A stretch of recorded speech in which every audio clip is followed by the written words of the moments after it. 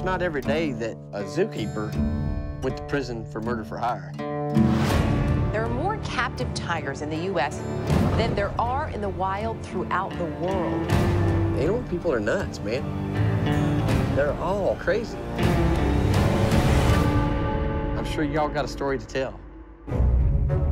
Good afternoon, ladies and gentlemen. My name's Joe Exotic, and this is Sarge.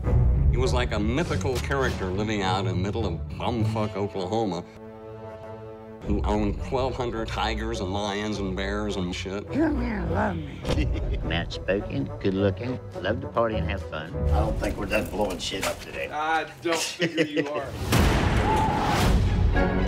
They have a heart and a soul and a mind. I've learned from them. But Carole Baskin keeps saying, I can't have these tigers. If he ever had an enemy in his life, it was Carole Baskin. Hey, all you cool cats and kittens, it's Carole at Big Cat Rescue. Carole is the Mother Teresa of cats. We will end the private possession of these cats.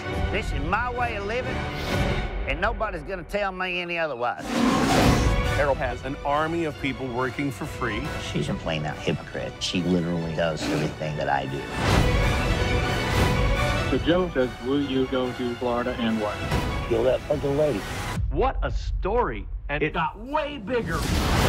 Sometimes they say that I'm the prototype for Scarface. We're supposed to be sexy, and we're luring people in. You may now kiss the grooms.